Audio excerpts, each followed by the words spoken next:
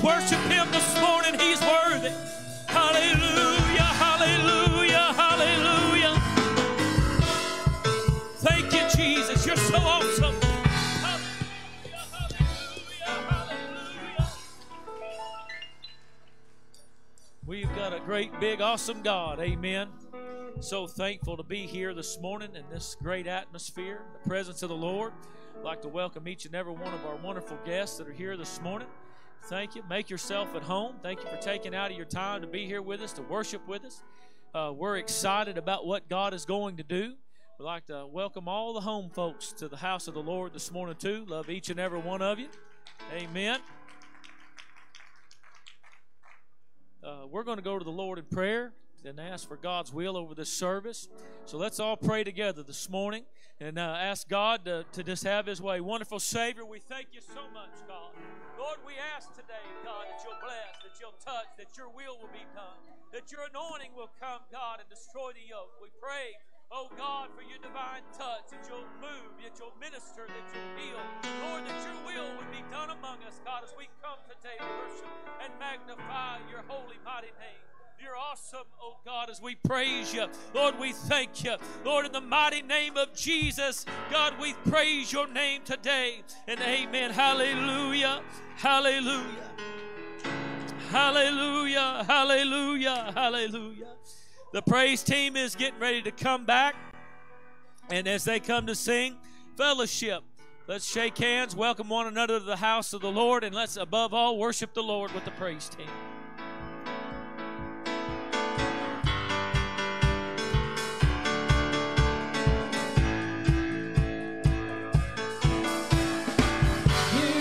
Moment now, here in this place I stand. To you I pledge my life, to you I lift my hands. You opened up my eyes, I am forever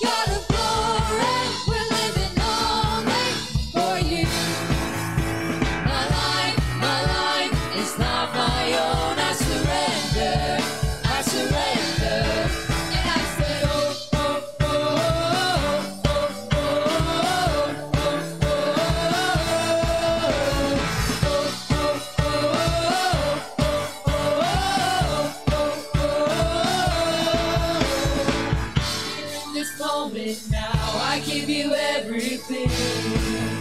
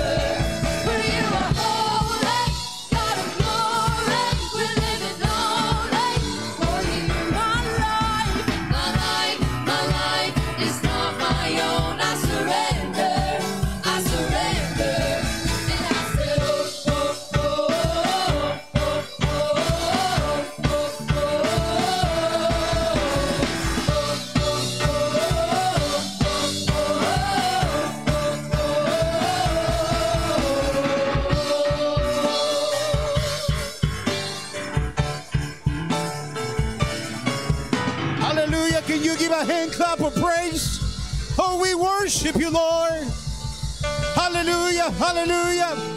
Thank you, Lord. Thank you. You are awesome. You are awesome. Hallelujah. Hallelujah. Hallelujah. There is such a liberty in the house today. It says, uh, what we were singing today. He says, I'm surrendered to you. And I'm just praising the Lord. And this thought came to my mind is that when you give all to Him, when we give all to Him, when we surrender ourselves to Him, there is plenty of liberty. There is freedom in the spirit. There is freedom in our lives. There is freedom in our finances. Hallelujah. I don't know about you, but I'm excited uh, to be apostolic uh, and this and uh, this and these latter days. Hallelujah. Hallelujah. Can you give a hand clap of praise? Hallelujah. And a shout of thanksgiving. Thank you, Jesus. Thank you for the privilege oh, to know you. Oh, hallelujah, hallelujah. And we've been apostolic. There is a demonstration of the power. Hallelujah. And we know that God answers our prayers today. Hallelujah, hallelujah. If you are watching us, we want to pray with you this morning. And if you are here today and you are a visitor, we want to pray with you as well. You came to church, hallelujah, and we want to pray for your needs today. This morning, we want to remember Wade Davis, that Sister Jennifer's uh, uncle. He's been missing for five days. Let's pray that, that they find him well. Amen. And let's pray for comfort to the family as well. Let's remember, let's remember Ken Park. He's in, in Anderson Hospital. He's uh, uh, uh, uh, brother uh, Collins know know him. And uh, let's pray for him that the Lord touched him. We, we, we serve an Almighty God. Amen.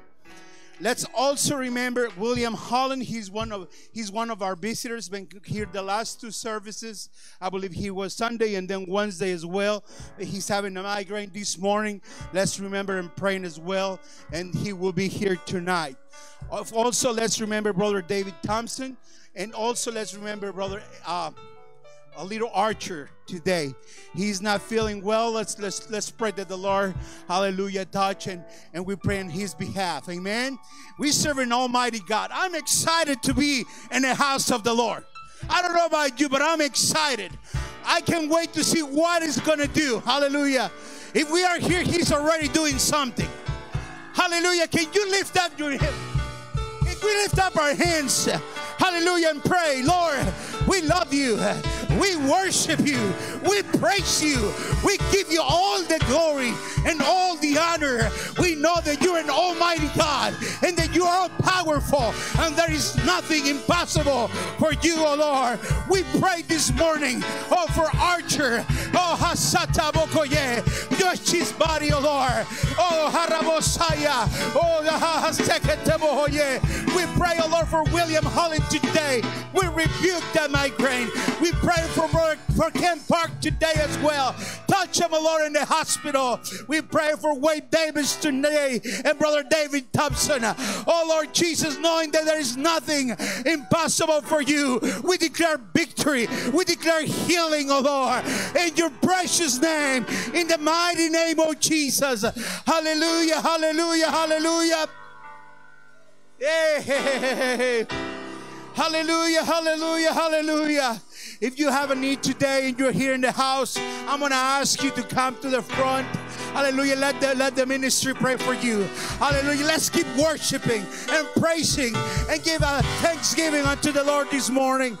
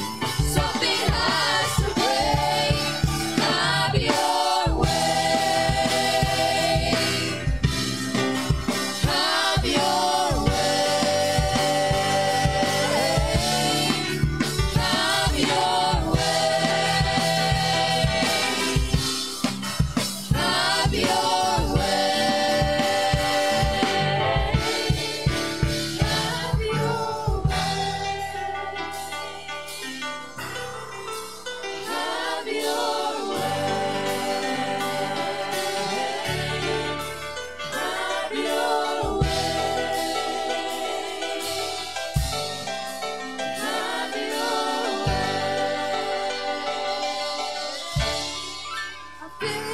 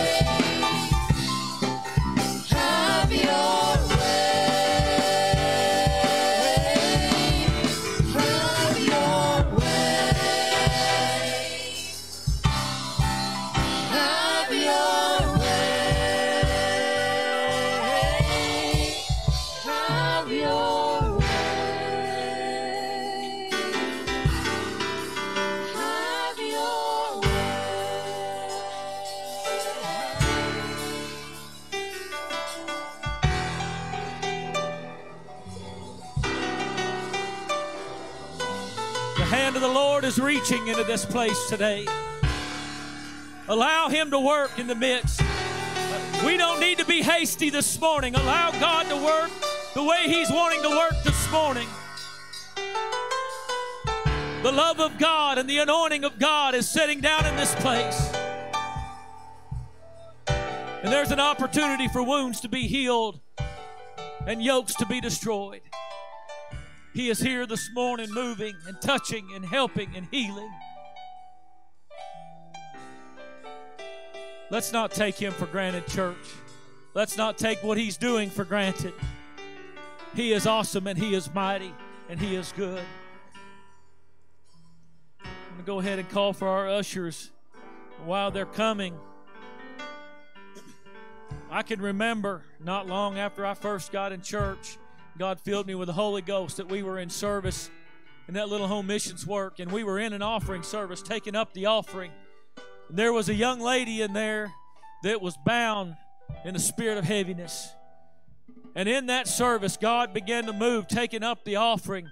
And before it was said and done, the offering didn't get completely took up, and that young lady had the Holy Ghost.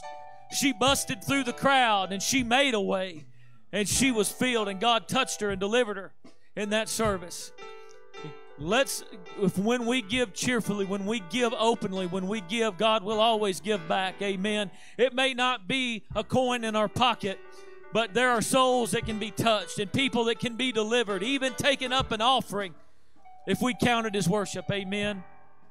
We're going to go to the Lord together in prayer at this time. And I know many of you have uh, know this prayer. Those of you that don't, this is a prayer that we uh, started some time back about praying over the offering. And it has affected the lives of almost every family, if not every family in this church. It has affected them somewhere. And when you say this, don't just go through the motions. Open your heart and pray this prayer and see what God can do.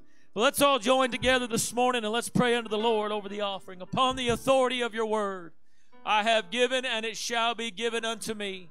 Pressed down, shaken together, and running over. I am a giver. I bring my tithes and offering today into your storehouse. Therefore, the enemy is rebuked and the curse is broken. I live under an open heaven. You pour out upon me such a blessing, there is not enough room to receive it. We receive jobs and better jobs, raises and bonuses, sales and commissions, benefits and settlements, estates and inheritances, interest and incomes, rebates and returns, checks in the mail, gifts and surprises, bills paid off, debts demolished, and royalties received. My whole family saved and walking with God. Perfect health and abundance to walk in divine favor and blessing. I am blessed going in and I am blessed going out. All that I do shall prosper in Jesus' name. Amen. Worship with the praise team as you come and give this morning.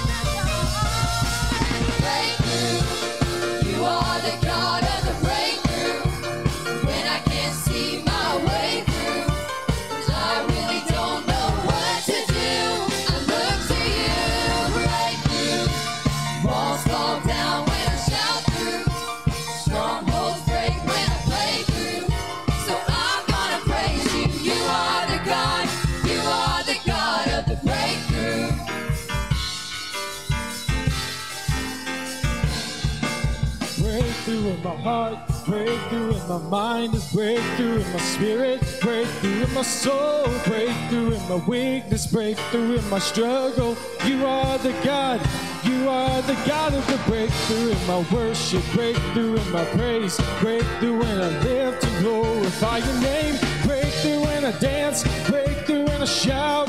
You are the God, you are the God of the breakthrough in my heart, breakthrough in my mind, breakthrough in my spirit, break breakthrough in my soul, break breakthrough in my weakness, break breakthrough in my struggle.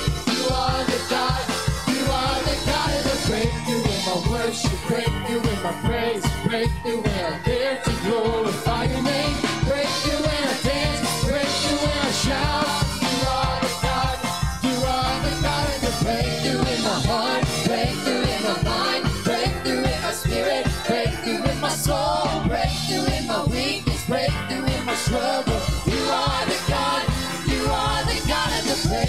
in my worship, breakthrough in my praise, breakthrough when I live to glorify your name, breakthrough when I dance, breakthrough when I shout. You are the God, you are the God of the breakthrough. You are the God of the breakthrough. When I can't see my way through, and I really don't know what to do,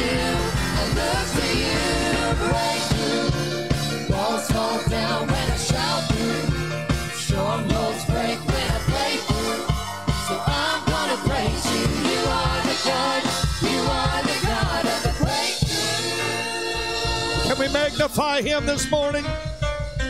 Your Bible said, Oh, magnify the Lord with me. Let us exalt his name together. Praise the name of the Lord. Shake hands with two or three people around you. Tell them I'm glad to see you in the house of the Lord, and you can be seated today. God bless you.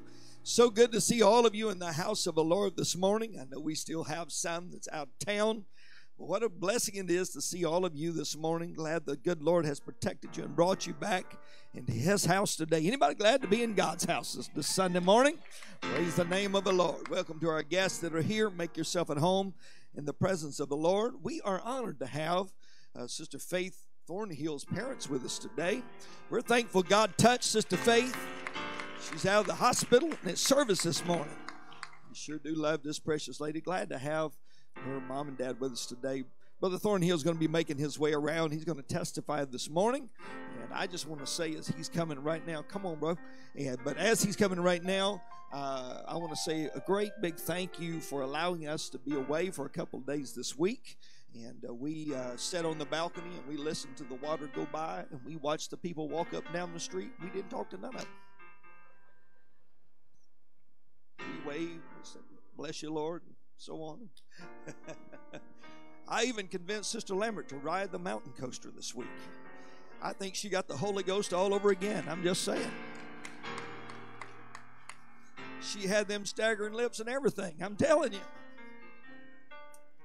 We had a great time. Uh, we ate and slept, and then we slept and ate. If we didn't have nothing else to do, we slept and ate. So uh, we had a good time this week, and uh, we came back at least 25 pounds heavier. Car sat down on that side of the van, not the driver's side this week. It sat down on the passenger side of the van. I'm picking on her. Uh, but yeah, we had a great time this week, and thank you. Uh, I'd had folks that had sent some messages on uh, Facebook Messenger, didn't know that we were away. And I apologize. I didn't even realize my Facebook Messenger wasn't on until this morning. So when I turned it on, it was going beep, beep, beep, beep, beep, beep, beep, beep, beep. All the messages coming through. but with that, I do want to say a great big thank you to all of those that helped this past week. Uh, progress, great progress is being made out back on the daycare. And I want to say a great big thank you to everyone who was involved in that process this week. Hopefully, hopefully, the good Lord's willing, by possibly even Wednesday night, all the back will be paved. And uh, we'll be well on our way to having every bit of it paved and ready to open school. And we're excited about all that business. But we are honored today to have Brother and Sister Thornhill. They can't be here tonight. They have got to drive all the way back uh, to Texas, uh, Marble Falls, I think it is, Texas and that's at least a 12 hour drive from here. We'll pray the Lord would protect them, and we would look forward to seeing them back as soon as possible. We want him to come and leave a word of testimony this morning. God bless you, Brother Thornhill. Well, praise the Lord. God's awesome, isn't He? We serve a mighty and awesome God, and there is nothing, nothing that He can't do. It doesn't matter what kind of problem you have, what you're going through in life, or whatever happens in your life, there's nothing impossible for my Almighty God. I love the Lord, and I thank God for what He's done for me, and I thank God for what He's done here in this church. You know, I, I've got to sit and visit with Brother and Sister Collins quite a bit and everything, and and uh, get to hear about everything that's going on in this church. You have a powerhouse church. You don't know how many churches are sitting around that need a bar of soap just to get people moving.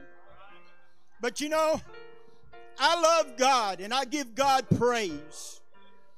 And I have a testimony that I want to tell you that does involve my daughter.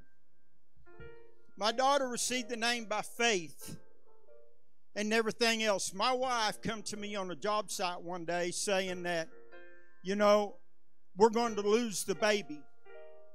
And I told her we're not going to lose the baby. So we began to pray, and God began to pour out His Spirit upon me. And I said, God, I said, don't let us lose this baby. And God, my wife wants a daughter. You give her that daughter. Well, we prayed and everything else, and everything come out all right. And about a month, two months, a little later, my wife would probably correct me on this. But anyway, we went and had a sonogram done, and we was told the doctor. And I told the doctor, I said, God told me that we were going to have a daughter. And I told him what we went through and everything else in that in that situation. Whenever he ran that sonogram across my wife's stomach, he said, looked at me and he said, Dad, you have a daughter. The tears began to stream down his face. The power of the Holy Ghost come down upon me. And there was a place that I used to go to pray. And I told Brother Collins this, and I want you to know prayer is your important key to the kingdom of God. And if you don't pray, you will lose out to the Almighty God. You will lose out. And the world is nothing compared to the Almighty God. The world has nothing to offer except for what God has. He has eternal life. Whenever he went, and I began to go up on this hill at my house, up on the hill, and we overlooked the churches and overlooked the lakes and everything, and I began to pray. And God came up on me and began to start dealing with me, and He said, Name her faith. And He said, In times of troubles and trials, the reason why I want you to name her faith is, is because whenever you look up on that baby, it was faith that saved her. Well, I got news for you, church. It's faith that's got you to where you're at. It's the prayer of God that's got you to where you're at. And it's not over. Hallelujah. How many today is walking by faith? We walk by faith, not by sight. Wow, what a word. Thank you, Brother Thornhill. We are blessed today. Absolutely. I think Sister Lambert needs to come and testify. You know, years ago when we started evangelizing, that's been a minute ago now. She told me, she said, whatever you would have me to do, I'll pray in the altar, I'll worship, I'll sing, do whatever, but don't put me behind the platform. Don't put me on the platform behind the pulpit to testify. I said, I'll help you out. So ever since then, I've been trying to help out Sister Lambert. So every opportunity I get, I get her to come to the platform, stand behind the pulpit, and testify. How many love Sister Lambert today? God bless you. I love the Lord and I love all of you. I'm so thankful for that testimony, Brother Thornhill. We couldn't we couldn't survive without faith in God. Because when life is not fair, and life isn't always fair, life happens to everybody, and God doesn't always answer like we think He's going to.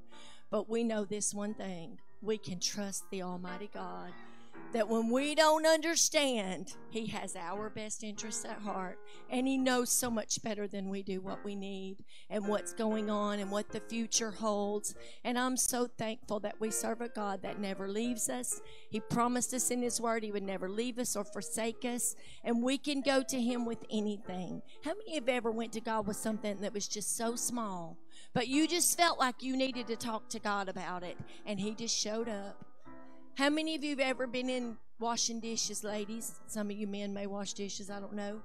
And the presence of God. You weren't even praying, just washing dishes. And the Lord just swept in. I've been standing at my kitchen sink looking out the window over the parking lot, and the Holy Ghost just come in my house and touch me and give me strength to go through that day. I'm so thankful that we serve a God that knows exactly what we need. I love Him today, and I love y'all. Worship with the praise team.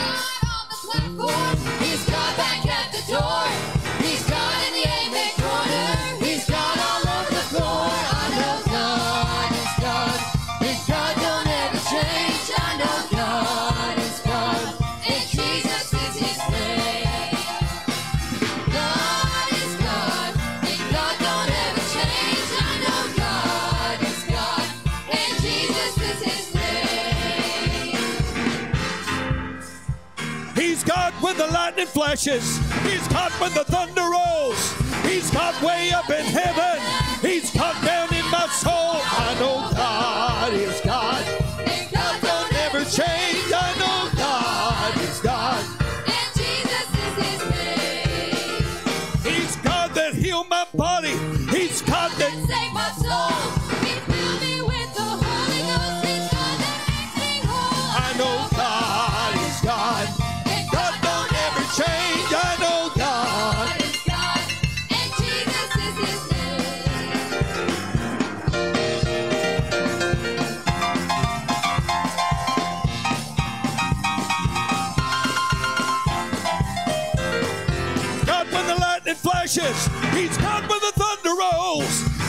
way up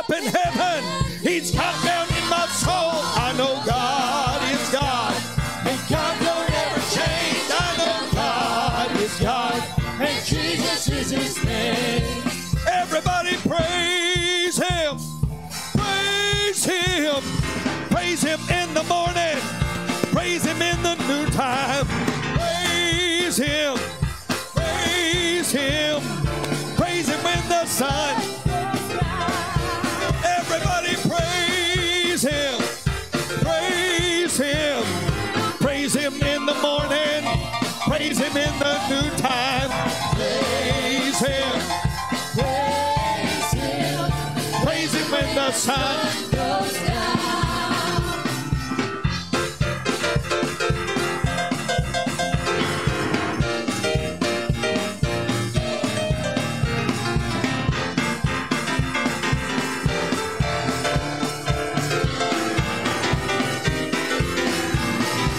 Well, I don't know what you came to do.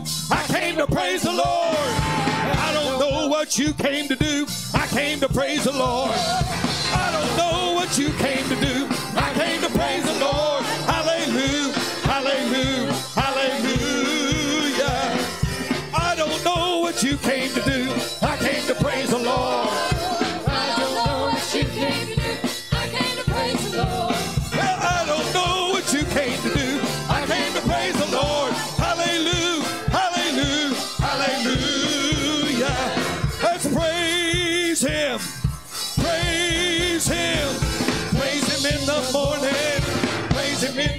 time.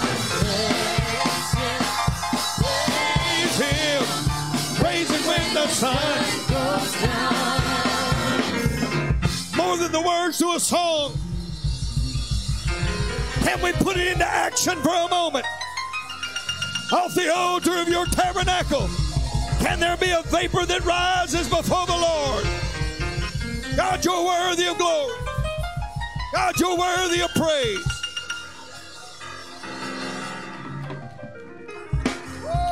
Hallelujah, hallelujah, hallelujah.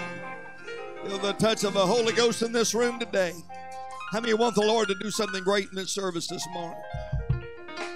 I got up this morning with expectation that God was going to do great things in this house today.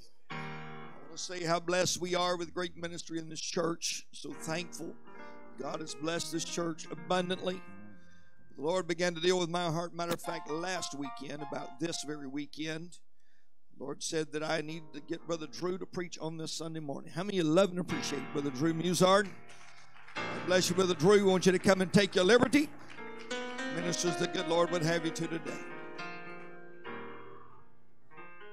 Amen. Could you continue to give the Lord a hand clap of praise on this Sunday morning? Come on, make it more than just a ritual and a routine, but lift your voice, clap your hands, magnify the Lord with me this morning. When I think of the goodness of Jesus and what He brought me through, I've got a reason to lift up my voice. I've got a reason to shout unto the Lord. I've got a praise in my spirit. Amen. What a power of the Holy Ghost is here this morning. And I'm so thankful uh, to be able to be here with you. I feel in the Holy Ghost to relay a story to you. We were in prayer Monday night. I work with a lady uh, who had an accident a few weeks ago. She dove off. Uh, she was swimming and she dove off into some water. And when she did, she hit her head and it broke uh, some vertebrae in her back and it messed up her spinal cord to where she could not move on the left side of her body. She was not able to get out of the water. Somebody had to come out there and get her out of the water, and they immediately rushed her to the hospital. When they got to the hospital, they didn't know at the time what she had done, and they realized what had happened. And so they sent her to Atlanta, Georgia, because they did not know how long it would be before she would be able to walk again. They didn't know how long it would be before she would be able to use her arms, her neck, move her neck. We went to prayer Monday night. We brought this need to prayer. Some of you may have heard me mention it. And whenever I, I found out news this week that on Tuesday, I found out that some of her movement was coming back to her body. I found out that she was having leg spasms in her left leg, but they still didn't know if she would be how long, how soon it would be before she'd be able to walk.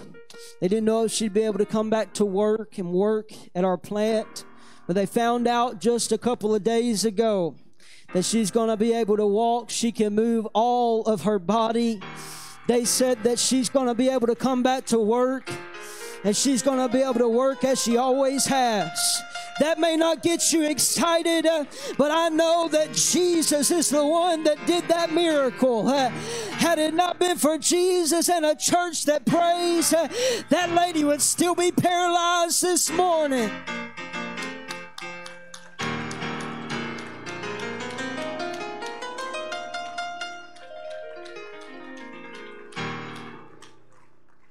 Amen. Thank you for praying for her. We're believing God for continual miracles in that that situation. Amen. How many of you are having a good day today? Amen. It's pretty outside. It's hot. Someone said it's hot. It's hot. But it is pretty on this Sunday morning. Amen. I'm as happy as a Chick fil A worker on Sunday. I'm happy to be here. Amen. If you would get your Bibles, let's go to the book of Acts, chapter 16. Amen. Thank you all for coming to the house of the Lord. I give honor to my pastor and first lady. I'm so thankful that they were able to get away this week and enjoy some time of rest, well needed rest, much needed rest. Amen. We're glad to have them back home. Amen. Praying uh, for my brother uh, Jesse Scroggins and his, son Archer. Miss him this morning. Amen. Believing for great things to happen for Archer recovery. Amen. Acts chapter 16, verses 23 through 26. I've had this I've had this message on my heart for some time now, but every time I felt to preach it, I, I could not. Um, did not feel released in the Holy Ghost. And so today I feel like this is what the Lord is wanting to speak uh, to us in this house. I don't want to be long. I just want the Holy Ghost to move. That's all I want at any point in time, at any point in place. I know y'all know me very well. I know y'all have heard my voice many of times. But at any point in time that you feel the Holy Ghost and you feel to do whatever, you just do whatever you feel. Because we want the Holy Ghost to move and have his way today. Acts 16, verses 23 through 26, it says, And when they had laid many stripes upon them, they cast them into prison, charging the jailer to keep them safely. Who, having received such a charge, thrust them into the inner prison and made their feet fast in the stocks. And at midnight, Paul and Silas prayed and sang praises unto them. And what's interesting is the prisoners that were there heard the praise that was going on. Suddenly, there was a great earthquake, so that the foundations of the prison were shaken. Now, I want you everybody to notice the word immediately with me. And immediately, all the doors were opened and everyone's bands were loosed. You could say that it was the prisoners that opened the doors, but they were still bound when the doors opened. You could say it was probably the earthquake that opened the doors. That's a lot of locked doors for that earthquake to just rattle open. Something in me says or feels that there was something that blew into that place. And today, by the help of the Holy Ghost, I want to preach to you the second wind is here. The second wind is here. Amen. Would you lay your hand or lay your Bibles down this morning? And I want you to lift your voice out with a shout, of prayer, and pray with me for what that God would do what He wants to in this house.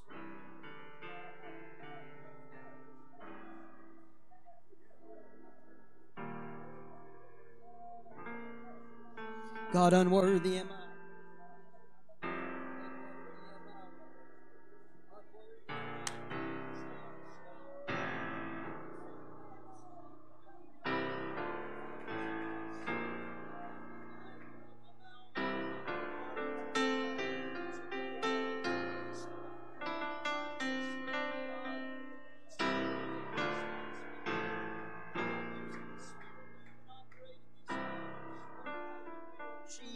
Uh, we give you honor and praise. Would you clap your hands one more time before you're seated?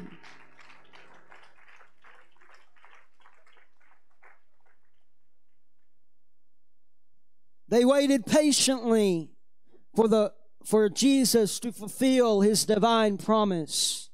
That promise was that the Holy Ghost would be poured upon every disciple that followed Christ to benefit them when he was no longer there physically.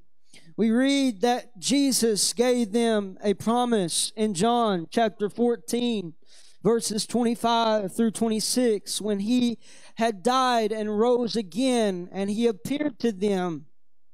As he appeared to these disciples, he said, These things have I yet spoken unto you, being yet present with you.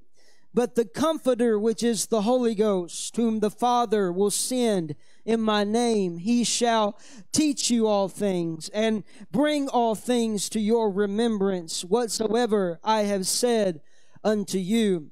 And so they took that promise, they took that word from Jesus. And they went and found a small room, probably maybe the size of this room, maybe a little bigger. They probably didn't own the room. It was loaned to them or they rented it. They went to this room, maybe a friend or a neighbor that owned it allowed them to use. It was called the upper room. And as they went, uh, they didn't go in there with a lot uh, of details put together. They did not know really much of anything other than to go and pray and wait. Uh, they wanted to wait because God had told them that if they would wait, the promise would be fulfilled. Jesus said to go tarry in Jerusalem till you be endued with power from on high.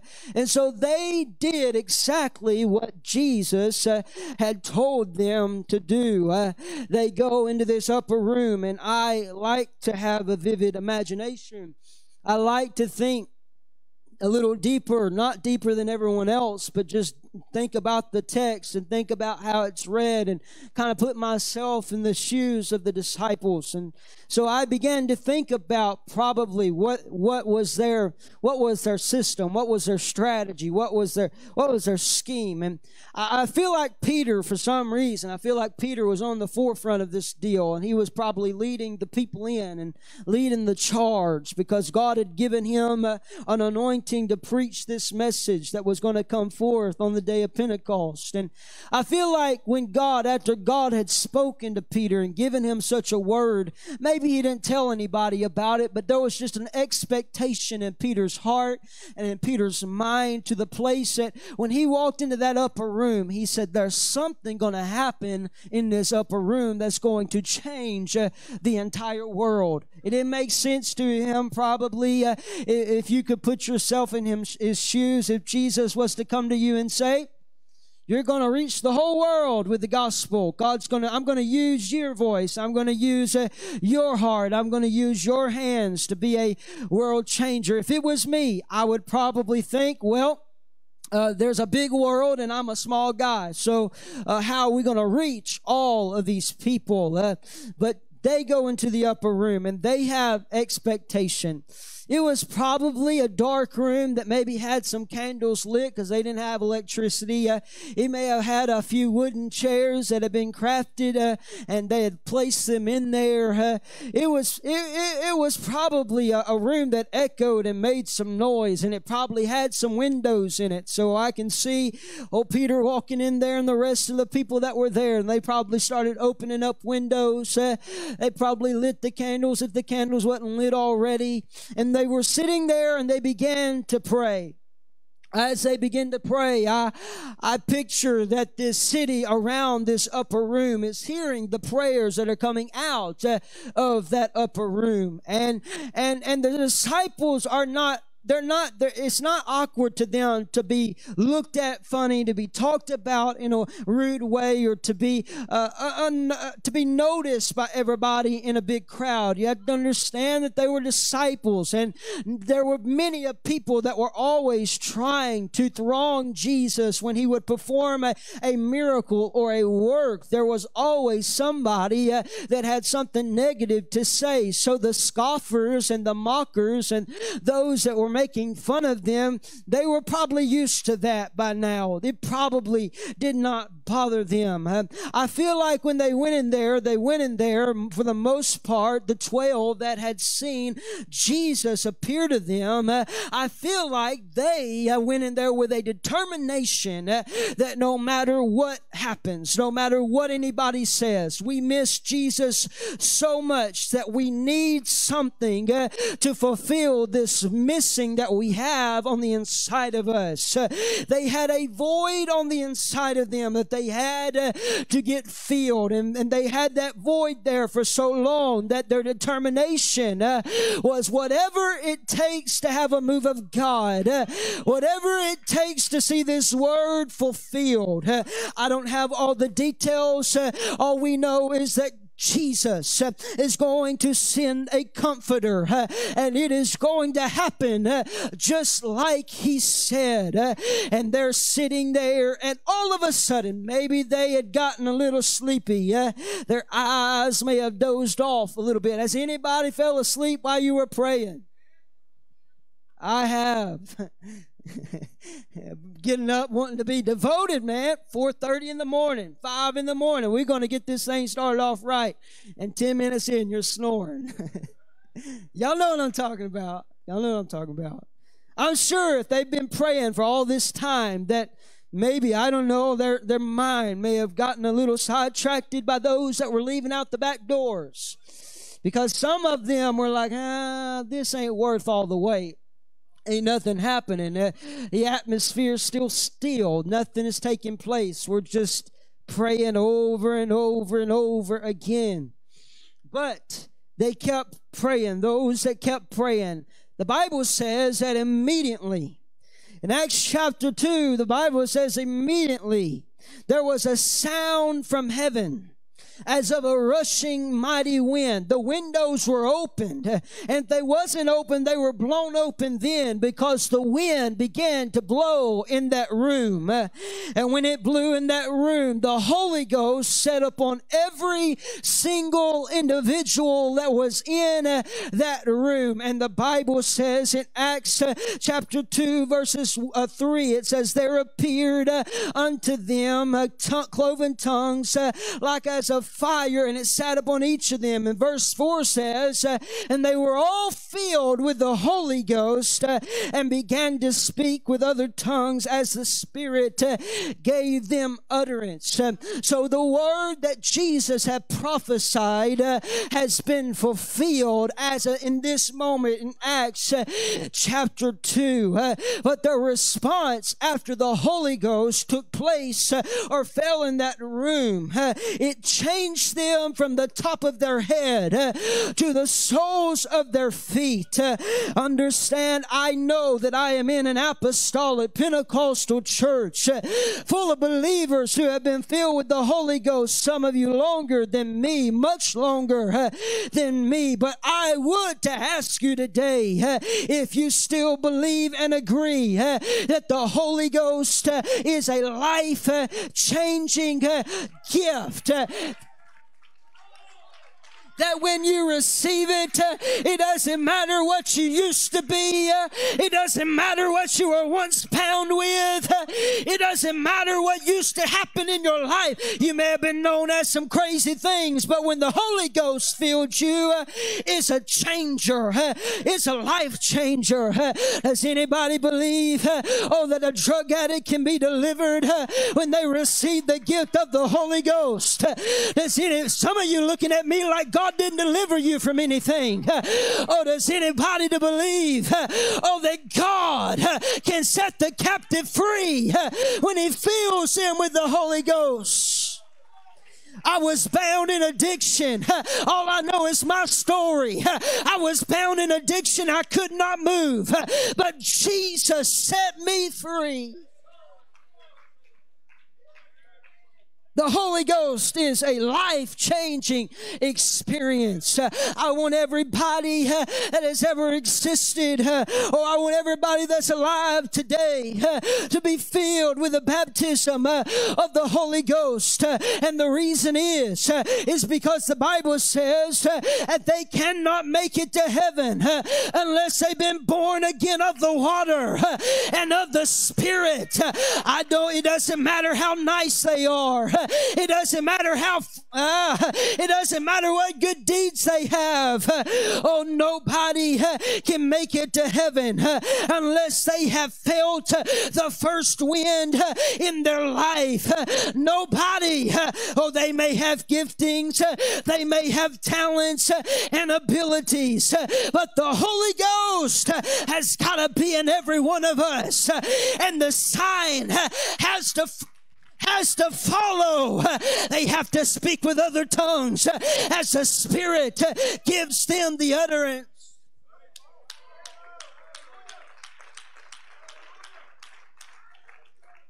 I'm thankful uh, to be Pentecostal. Uh, I'm thankful for the Pentecostal experience. Uh, I'm thankful that I can go down in a watery grave because there's a lot of people out there, oh, that have things in their life that are weighing them down and they're looking for something to wash away the guilt.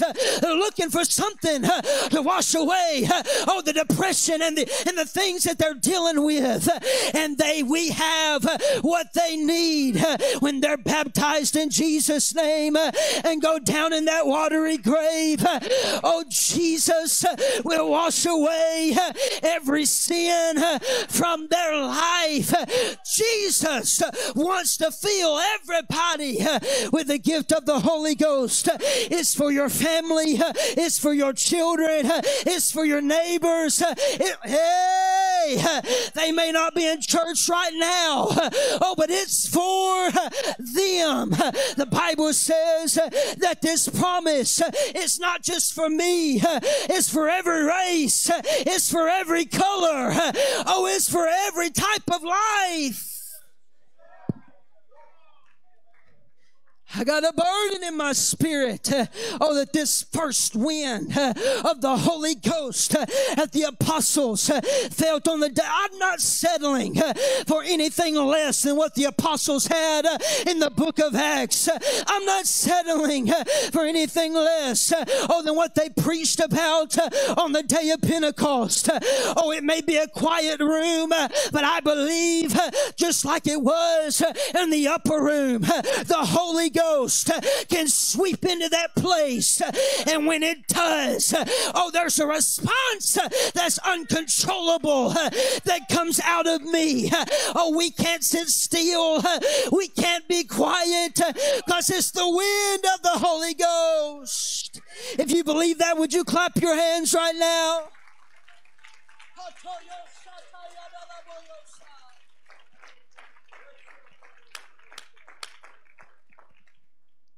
You may wonder, well, where we didn't start out reading in Acts 2. I wanted to explain where the first wind came from. We were talking about, we read about Paul. Paul in Acts chapter 16 is a man that's been converted unto this wonderful life of living for God. He has received the baptism of the Holy Ghost. He believes the way that the disciples and the apostles are supposed to believe, but Paul is living in a time where he's the one for writing the New Testament. He's the one seeing these things firsthand. And Paul and Silas are at a place in Acts 16 uh, when a vision of a man came to them. When that vision uh, came to them, he was from Macedonia. This man came to Paul in a vision uh, and asked that Paul would come and help him. And so immediately, uh, Paul did not question uh, this vision. He felt it in the Holy Ghost. Uh, the Bible says he released from Troas, and when he did, uh, he went to this place, capital city called Philippi in Macedonia. When he gets there, him and Silas are praying. They're seeking the will of God. They're seeking the purpose of God. What we, we need to find this man. We need to find this individual. But they did not find a man first. Uh, they came in contact with a woman by the name of Lydia. Who was a seller of purple. Uh, and Lydia gave them a place to stay. Uh, Lydia gave them a shelter to live in while they were in uh, Macedonia. And as she is there, she, she adhered to the words that Paul would teach. Oh, she, she began, her and her whole family were, were following after what this man of God was saying. They believed every word that he said.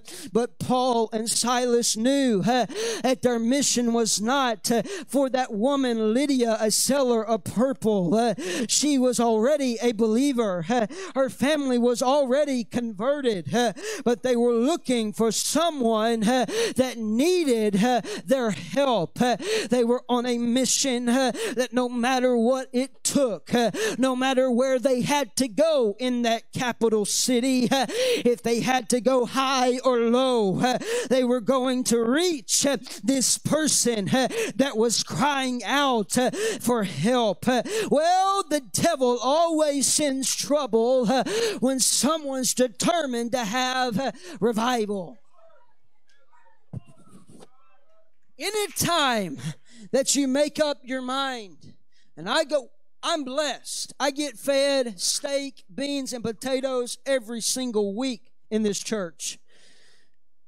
I'm blessed to be a part of a revival church, but one thing I have learned, one thing that I have noticed uh, is that when we begin to move in a forward direction, Satan and all his minions, if I could say it that way, are alert of where we are going.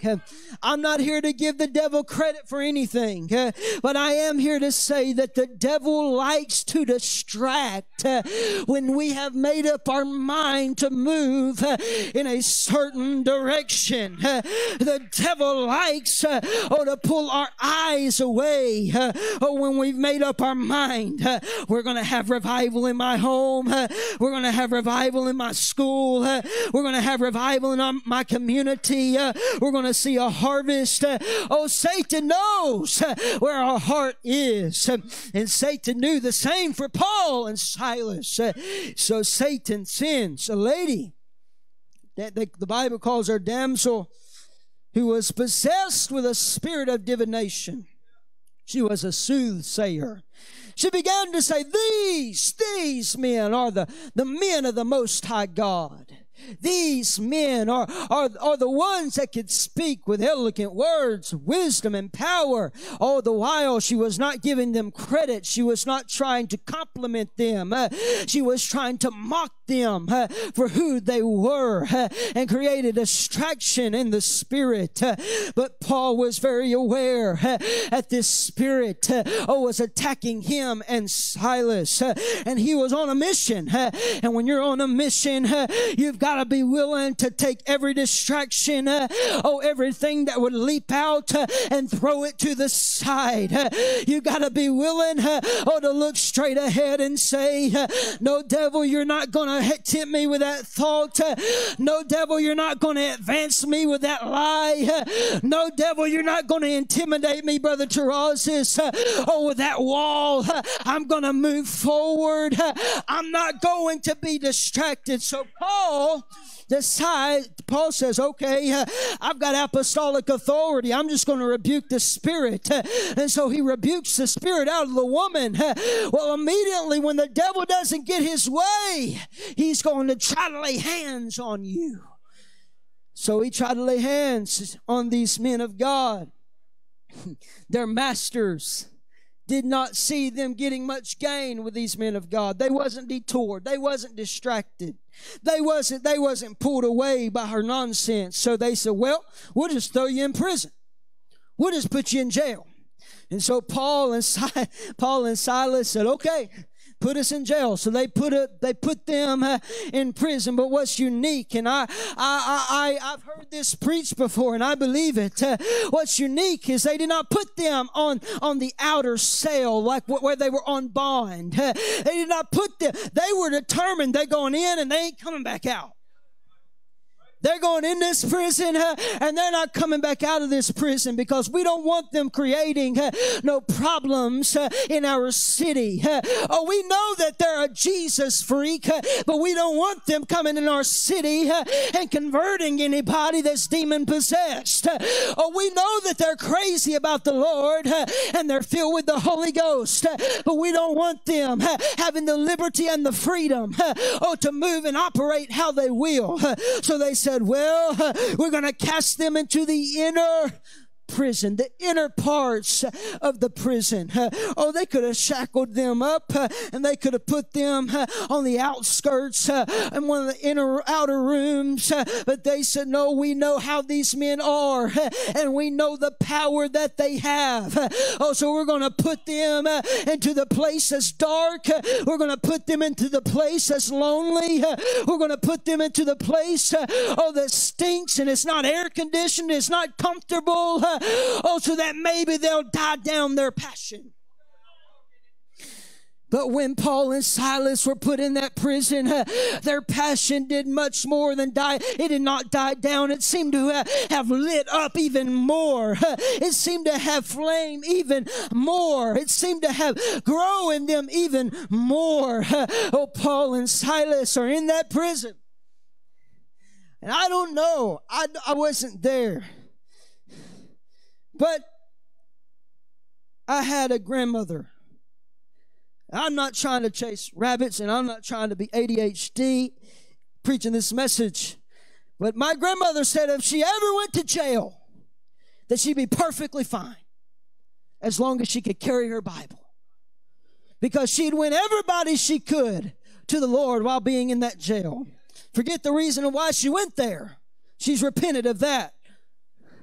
But she's going to win everybody that she can while she's in that jail. I imagine that Paul and Silas felt the same way. No matter where we're at, no matter what we're in, the Holy Ghost is going to feel uh, this man. Look, church, we've been through some crazy conditions uh, in the last five years. Uh, oh, but the Lord wants to know if we're still a church that says, uh, no matter the conditions, uh, no matter what we're dealing with, uh, we're going to reach the lost, uh, or we're going to reach those that don't know the Lord. You can put us in a prison. You can put us in a jail. You can put us in isolation. But we're still all going to be on fire for the Lord. Because His Holy Ghost oh, has a fire to it. And it doesn't matter where I am or what I'm dealing with. It does not die down. They were in that prison. I'm sure they didn't quit praying either. I know they prayed at midnight and sang praises, but I'm sure before midnight ever rolled around, when they got the, I'm, I'm sure when they when they had the shackles put on them, they were probably praying under their breath.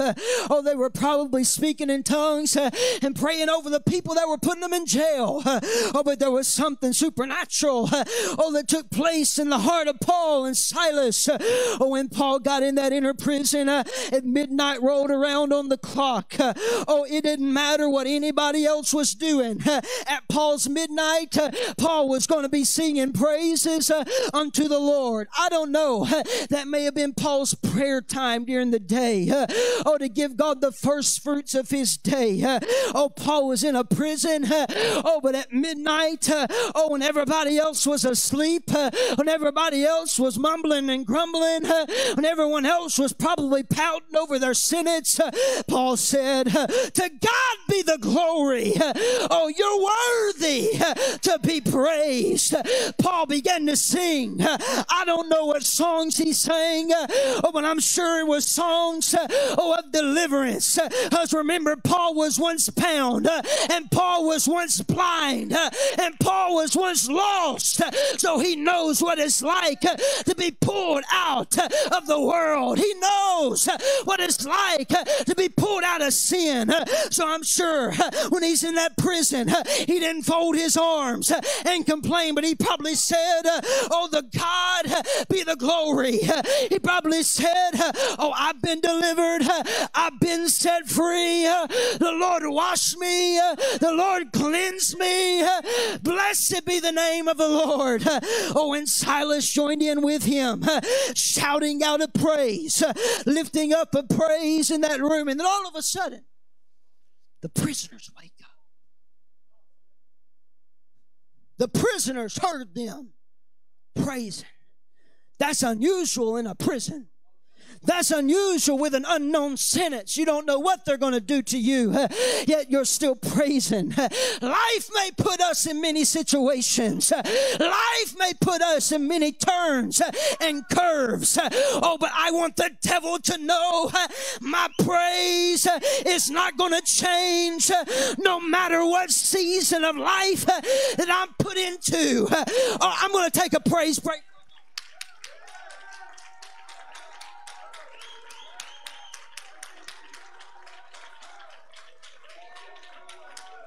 It doesn't matter uh, what the report is. Uh, My God is worthy uh, to be praised. In a prison, oh, in a right, in a righteous woman's house, no matter where. He's worthy to praise.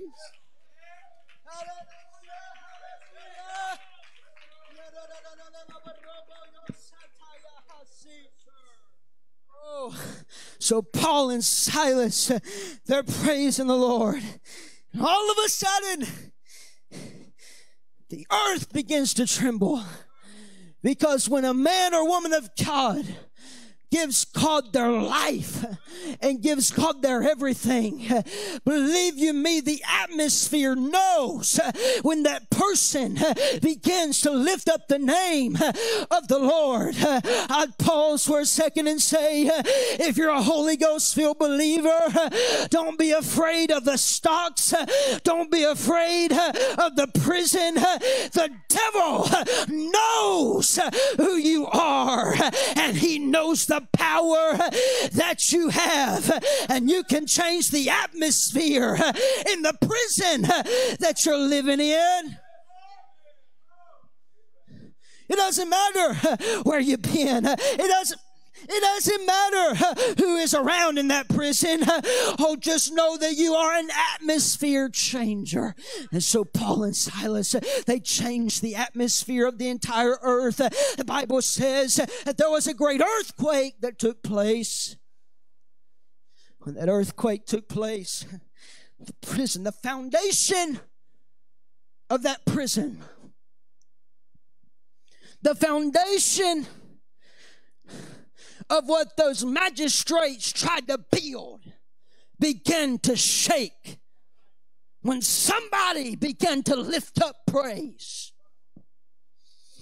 the foundation of what those evil men trying to put oh paul and silas devout men in prison. Their plan their agenda their idea their philosophy their strategy uh, began to crumble. Oh when they began to sing praises uh, and pray unto the lord. And so the foundation shook uh, and all the doors were open not, not just the door uh, that Paul and Silas was in, uh, but every door uh, in the entire prison was swung open. There was a shaking, there was a moving, oh, but there was a wind that began to blow into that place there was a wind of the Holy Ghost that began to blow into that room because a devout believer, Paul and Silas, when they began to praise, it changed something in the atmosphere and it brought a wind into that place. And when the wind blew in, oh, those prisoners' bands were loosed. Oh, there may be somebody this morning, oh, that's dealing with a prison band in your life. Oh, but the wind's blowing in this house. The wind of the Holy Ghost is blowing in this room, and it's blowing in deliverance, and it's blowing in freedom, it's blowing in liberty.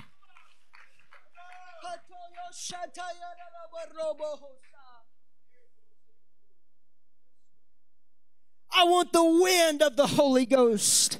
I want it to blow in my home. I want to be sitting there reading my Bible and feel that same wind oh blow into my room and bring me revelation. I want to be sitting in the emergency room oh, waiting for a result and the wind of God blow through that hospital Oh, and heal not just me uh, or those who are with me.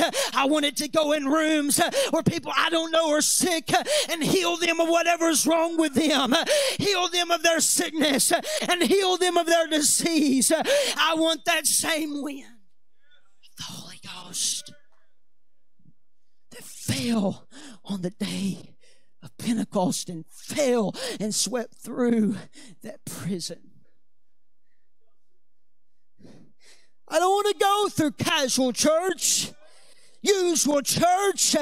Oh, I know if we're living in a prison, oh, we may want to go casual because we feel like we're going to be there a long time. But your exit day may be determined by your praise while you're still there. When you get to leave that prison uh, may be determined if you're willing to lift up praise uh, while you're still in that prison. Uh, oh, I refuse to be casual just because I'm walking through life circumstances and struggles. Oh, believe you me, I, I pity anybody that's having struggles. I'm not belittling it. Oh, I'm just encouraging you. Don't go through a Sunday morning and feel like your praise oh cannot be lifted up uh, because you're walking through something that's struggling and hard. Uh, Don't feel like you've got to sit back uh, pounding the chains and shackles. No, no, no. You are a child of God and you've got a right to pray. Would you lift your hands right now? The Holy Ghost is about to blow in this building. Uh,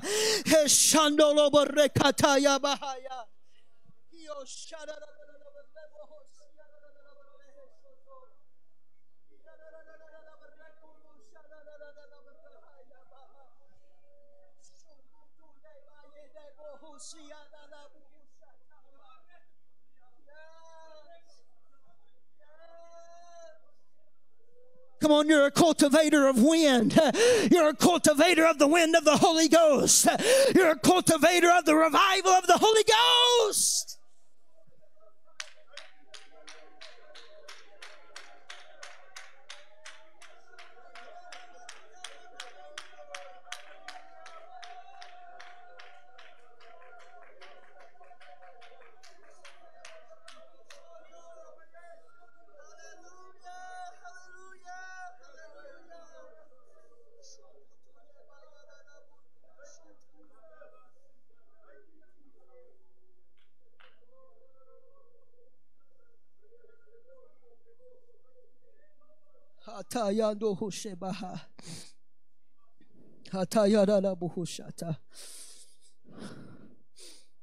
I'm hurrying to a close.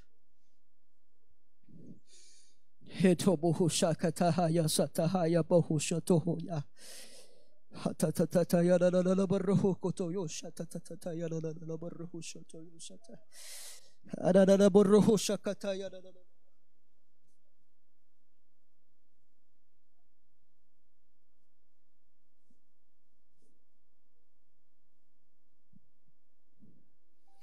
There's a spirit of intercession that's trying to break loose in this building right now.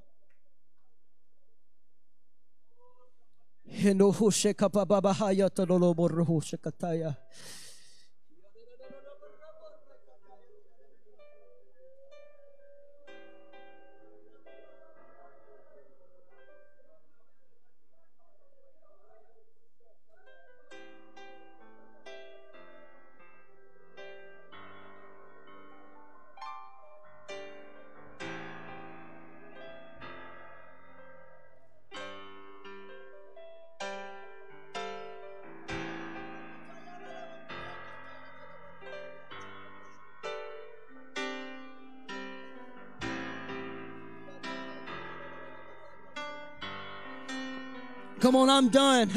Let's let the wave of the Holy Ghost move in this room right now. Kataya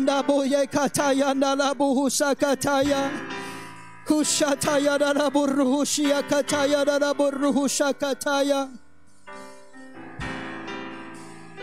Come on, let's make this entire sanctuary an altar right now.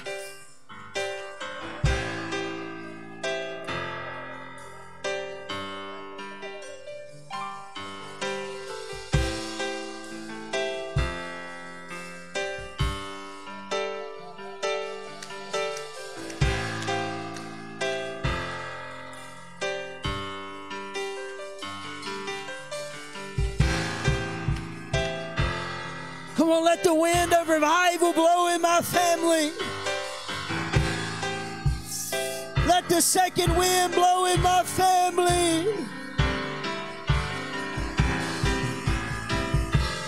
Come on, if you've been dealing with struggles this morning, the second wind is here.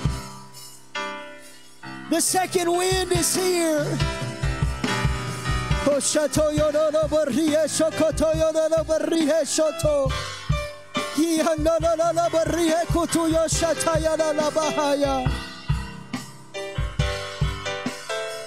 The second wind. The second wind.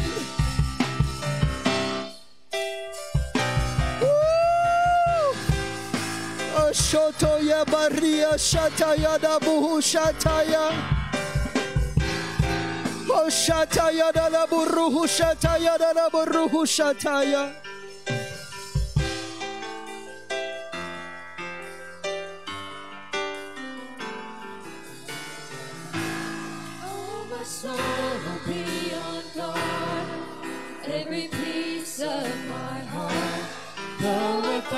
thousand foes arise, I shall overcome. I will open up my mouth and give you praise, praises. How I find.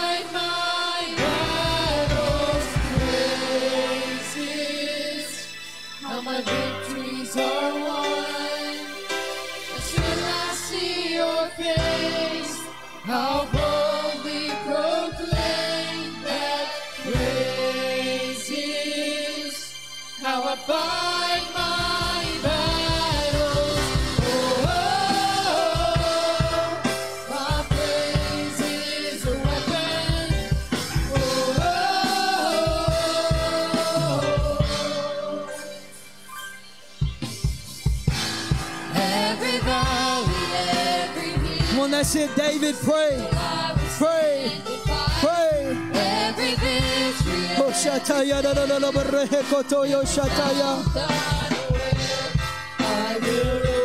Oh, Sister Addison, come on, pray. I want the second win.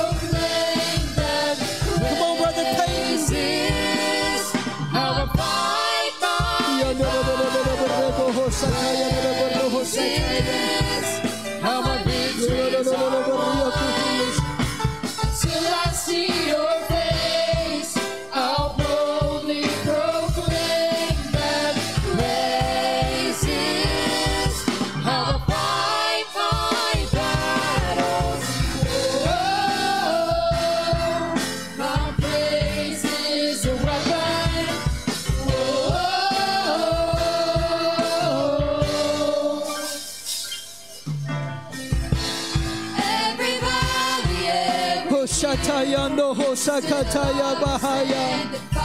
Yondo Shataya Dobo Hosataya. Never found unaware. I will open up my mouth and you praise. Praise I Come on, kids, that's beautiful. Praise, kids, praise.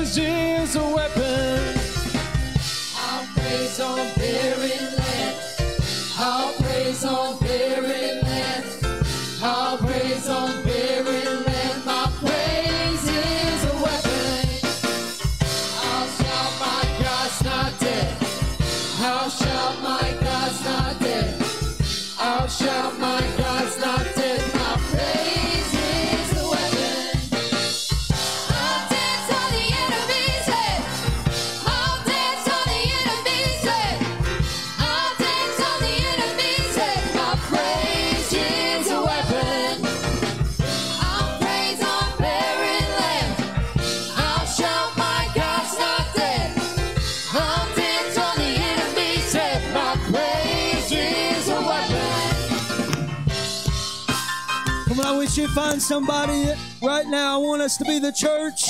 I wish you'd find somebody across this house. If you're not praying, I want you to begin to pray with them.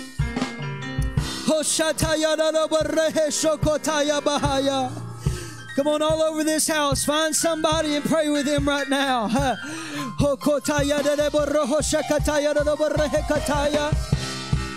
If you're praying, don't stop praying. If you're praying, don't stop praying.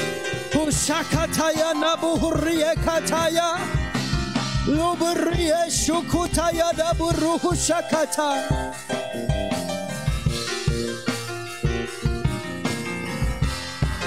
Come on, pray for him.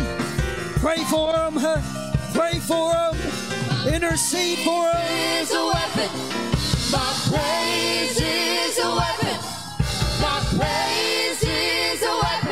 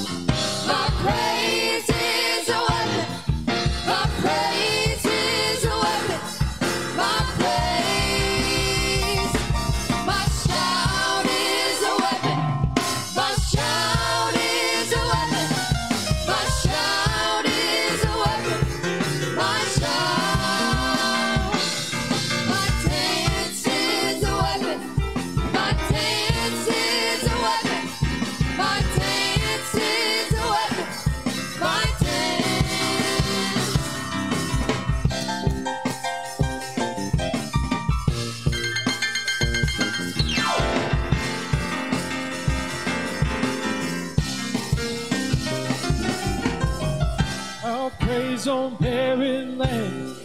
Our praise on barren land.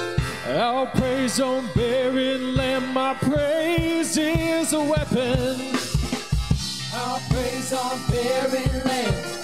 Our praise on barren land. Our praise on barren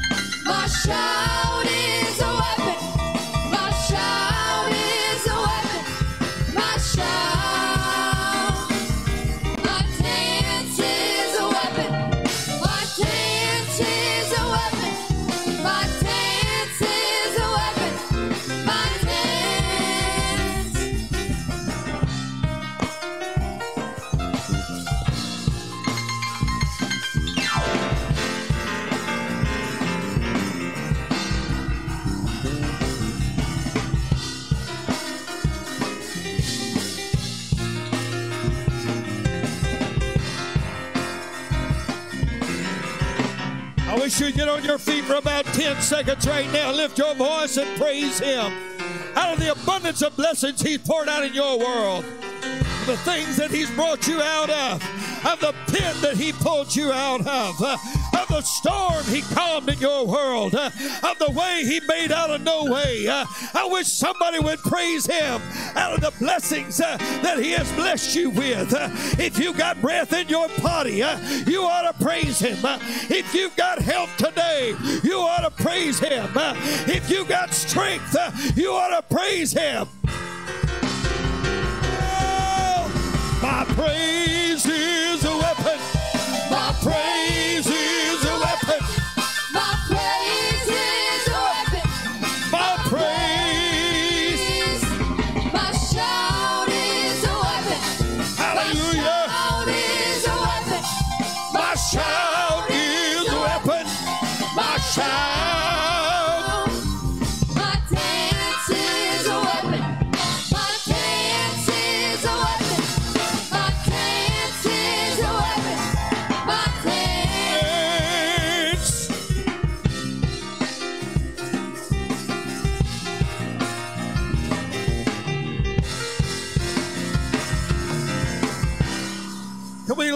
voice? Can we clap our hands? Can we pour out? Great is the Lord. Woo! Hallelujah.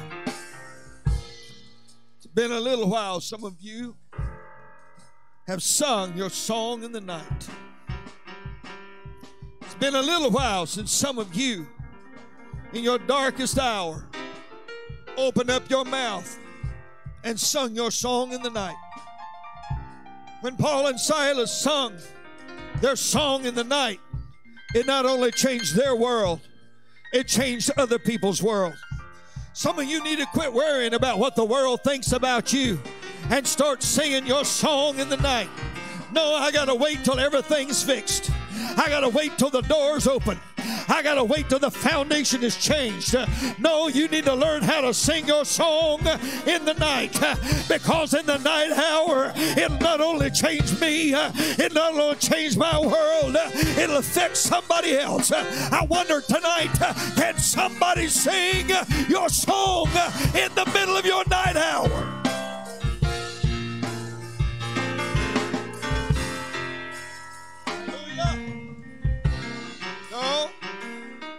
Your words don't sound like my words.